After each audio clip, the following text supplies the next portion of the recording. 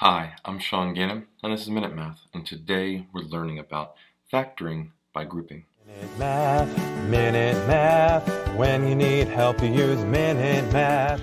We're given this problem right here 12xy minus 28x minus 15y plus 35, and we need to factor this completely. Well, what I first like to do is put some groups here. The first two terms in a group, and, well, the second two terms in a group. But this is tricky. That minus sign was just to the 15y. By putting parentheses here, that minus sign has to distribute to the 35, but we want that to stay positive. So we to counteract that negative that's going to be distributed and put a minus sign over the 35. Now we're good.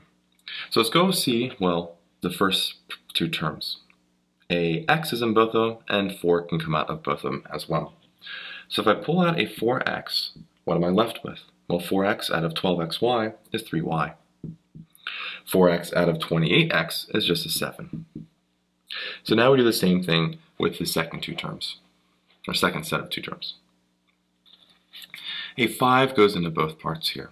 So by pulling out a 5, I'm left with a 3y minus 7.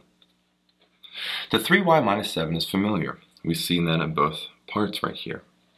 So I can pull out a 3y minus 7 here from both parts, and what we're left with is multiplied by the numbers in front of each one, 4x minus 5. And so my final answer here is 4x minus 5 times 3y minus 7. I hope this video was helpful for you, and if it was, please subscribe to this YouTube channel and like this video. This helps us make more free math lessons for you and for everyone else.